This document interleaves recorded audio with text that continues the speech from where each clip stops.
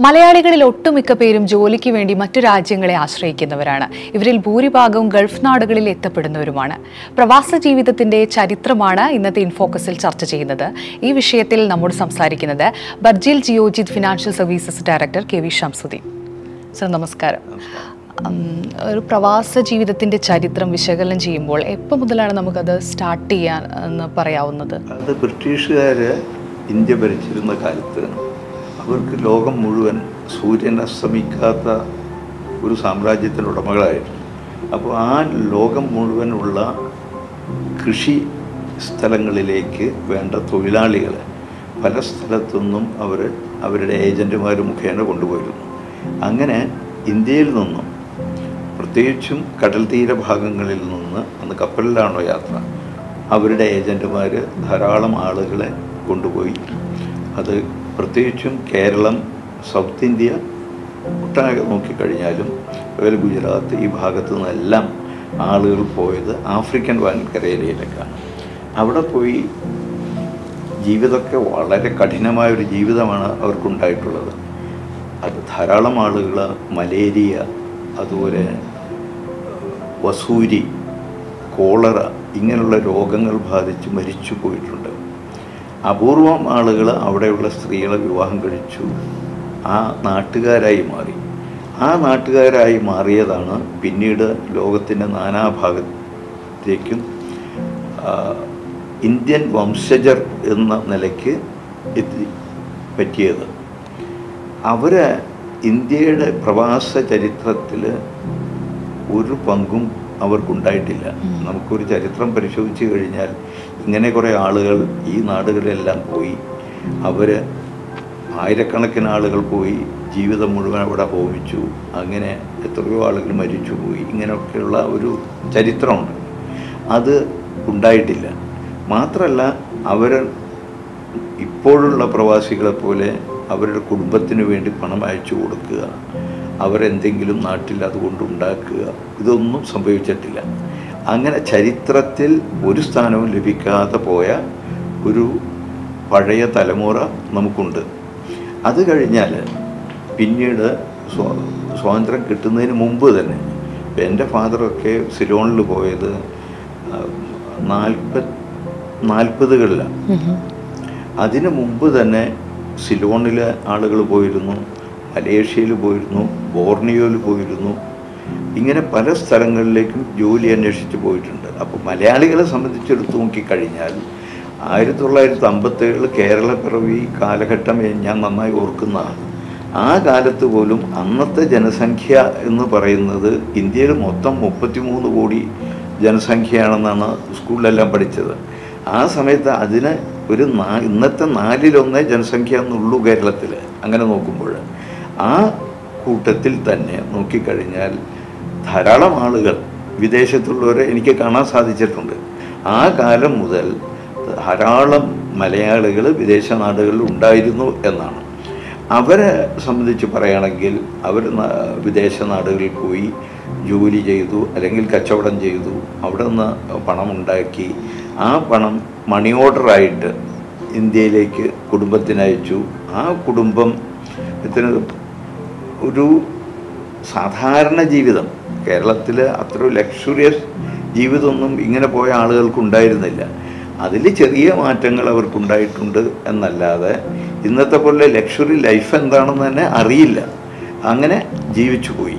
ആ ജീവിച്ചു പോയവർ ഇന്ത്യയ്ക്ക് സ്വാതന്ത്ര്യം കിട്ടുന്നു ആയിരത്തി തൊള്ളായിരത്തി നാൽപ്പത്തി ഏഴിൽ നാൽപ്പത്തേഴിൽ സ്വാതന്ത്ര്യം കിട്ടിക്കഴിഞ്ഞപ്പോൾ പിന്നീടുണ്ടാകുന്ന സംഭവം എന്താണെന്ന് പറഞ്ഞാൽ ഈ നാടുകളിലെല്ലാം മണ്ണിന്റെ മക്കൾ നയം ശക്തിപ്പെട്ടുകൊണ്ടിരുന്നു. എല്ലാ ജോലിയും അതുപോലെ തന്നെ എല്ലാ ബിസിനസ്സും ഞങ്ങൾക്ക് തന്നെ ആവണം എന്നുള്ള നിലയ്ക്ക് ഉള്ള ശബ്ദം ഉയർന്നു വന്നു. അങ്ങനെ വന്നു കഴിഞ്ഞപ്പോൾ അവിടെ ഉണ്ടായിരുന്ന പല ആളുകൾക്കും നിൽക്കാൻ സാധിക്കാത്ത അവസ്ഥ വന്നു. ഇപ്പോൾ എന്റെ ഫാദർ സിലോണ്ടുണ്ടായപ്പോൾ അദ്ദേഹം ആയിരത്തി തൊള്ളായിരത്തി അമ്പത്തി ഏഴിൽ നാട്ടിലേക്ക് തിരിച്ചു വന്നു. അങ്ങനെ ഞങ്ങളുടെ പ്രദേശത്ത് ധാരാളം ആളുകൾ ഉണ്ടായിരുന്നു സിലോണിൽ. അവരെല്ലാം തിരിച്ചു വരികയാണ് ഉണ്ടായത്. പക്ഷെ ഇവരെല്ലാം ഇന്നത്തെ പ്രവാസികളെക്കാൾ വ്യത്യസ്തമായിട്ടൊരു കാര്യം ചെയ്തത് അവർ ധാരാളം വസ്തു വാങ്ങിച്ചിരുന്നു കൃഷിഭൂമി വാങ്ങിച്ചിരുന്നു. ആ കൃഷിക്ക് അന്ന് ലാഭകരമായ ഒരു കാര്യമായിരുന്നു. നാളികേരമാവട്ടെ അല്ലെങ്കിൽ അടക്കയാവട്ടെ മറ്റെന്തും ആവട്ടെ അതിനെല്ലാം നല്ല വില കിട്ടിയിരുന്നു. കൃഷി ചെയ്താൽ ലാഭകരമായിരുന്നു. അങ്ങനെയുള്ളൊരവസ്ഥയായിരുന്നു. എന്റെ ഫാദർ വന്നതിന് ശേഷം ഞങ്ങൾ കൃഷിക്കാരായി മാറി. വിദേശത്തുനിന്ന് പണം വന്നിരുന്ന സ്ഥാനത്ത് കൃഷിക്കാരായി മാറുകയുണ്ട് അങ്ങനെ കൃഷിക്കാരെന്ന നിലയ്ക്ക് സസന്തോഷം ജീവിക്കാനുള്ള സൗകര്യം ഞങ്ങൾക്കും ഞങ്ങളുടെ അടുത്ത സുഹൃത്തുക്കൾ അയൽക്കാരായിട്ടുള്ള എല്ലാവർക്കും ഉണ്ടായിട്ടുണ്ട് എന്നുള്ളതാണ് എനിക്ക് കാണാൻ സാധിച്ചിട്ടുള്ള ഒരു വസ്തുത.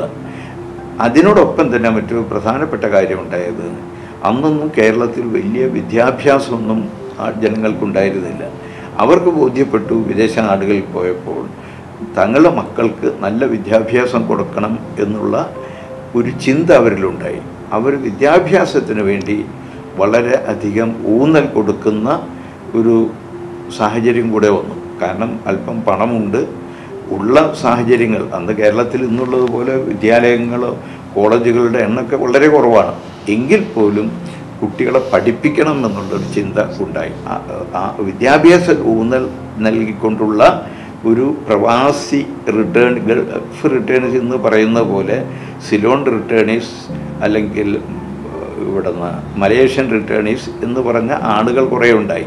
അവരുടെ മക്കളൊക്കെ പഠിച്ചവരാണ്. ആ സന്ദർഭത്തിൽ നമുക്ക് കാണാൻ സാധിച്ചത് കുവൈത്തിൽ പെട്രോൾ കണ്ടെത്തി. അബുദാബിയിൽ പെട്രോൾ കണ്ടെത്തി സൗദി അറേബ്യയിൽ പെട്രോൾ കണ്ടെത്തി അങ്ങനെ വന്നു കഴിഞ്ഞപ്പോൾ ധാരാളം ആളുകൾ ഈ ഒരു മേഖല നാടുകളിലേക്ക് ചേക്കേറാൻ തുടങ്ങി. അതിനോടൊപ്പം തന്നെ മറ്റൊരു സംഭവം ഉള്ളത് മലയാളികളുടെ സ്വന്തമെന്ന് അവകാശപ്പെടാവുന്ന ഒരു മേഖലയാണ് ആതുര ശുശ്രൂഷ ആതുര ശുശ്രൂഷ മേഖല. ധാരാളം നമ്മുടെ മലയാളി സഹോദരികൾ നഴ്സിംഗ് ജോലിയിലുള്ള പ്രാവീണ്യം നേടിയവരുണ്ടായിരുന്നു. അവർക്ക് ധാരാളം സാധ്യതകൾ ഗൾഫ് നാടുകളിലുണ്ടായിരുന്നു. അങ്ങനെ അവർ ഗൾഫിലേക്ക് പോവുകയും അങ്ങനെ ഗൾഫിൽ പോയി ജോലി ലഭിക്കുകയും ചെയ്തപ്പോൾ പിന്നീട് അവരുടെ ഭർത്താക്കന്മാരെ നാട്ടിലേക്ക് ഗൾഫിലേക്ക് കൊണ്ടുവരികയും ഒക്കെ ചെയ്തപ്പോൾ ഒരേ സമയത്ത് രണ്ടുപേരും ജോലി ചെയ്യുന്ന ഒരവസ്ഥ ഉണ്ടായി അതിന്റെ ഫലമായി പിന്നീടുള്ള പ്രവാസികൾ ആദ്യകാലത്ത് ഗൾഫിൽ പോയ പ്രവാസികൾക്കെല്ലാം ഇൻകം ഇന്നുള്ളതിനേക്കാൾ ഇൻകം ഉള്ള ഒരു അന്നത്തെ വരുമാനം അനുസരിച്ച് അവർക്ക് ഇൻകം ഉണ്ടായിരുന്നു. രണ്ടുപേരും ജോലി ചെയ്യുന്നു. താരതമ്യേന ഭേദപ്പെട്ട ശമ്പളമാണ് അവർക്ക് ലഭിച്ചിരുന്നത്. അത് നാട്ടിലേക്ക് പോകുന്നു. ഭൂപരിഷ്കരണ നിയമം വന്നപ്പോൾ ഒരു വ്യക്തിക്ക് പതിനഞ്ച് ഏക്കറിൽ കൂടുതൽ ഭൂമി വിൽക്കാൻ പാടില്ല എന്നൊരു നിയമം വരുന്നു എന്ന് കേട്ട് കഴിഞ്ഞപ്പോൾ തന്നെ ഭൂ ഉടമകൾ കൂടുതൽ ഭൂമിയുള്ള ഭൂ ഉടമകളെല്ലാം അവരുടെ ഭൂമി കഴിയുന്ന വേഗത്തിൽ വിൽക്കാൻ അവർ ആഗ്രഹിക്കുകയും അവർ വിൽക്കുകയും ചെയ്തു ഇരിക്കുമ്പോൾ അന്ന് ഗൾഫിലുണ്ടായിരുന്ന ആളുകൾ ചെയ്തത് അതിന് മുൻകാലങ്ങളിൽ സിലോണിലും മറ്റും ഉള്ള ആളുകളെക്കാൾ കൂടുതൽ ഭൂമി വാങ്ങിക്കാൻ താല്പര്യം കാണിച്ചു. ഒരു കാലത്ത് ഭൂ ഉടമകളല്ലാതിരുന്ന ധാരാളം ആളുകൾ ഭൂ ഉടമകളായിത്തീരുന്നു. അങ്ങനൊരു മാറ്റവും കൂടെ സംഭവിച്ചു.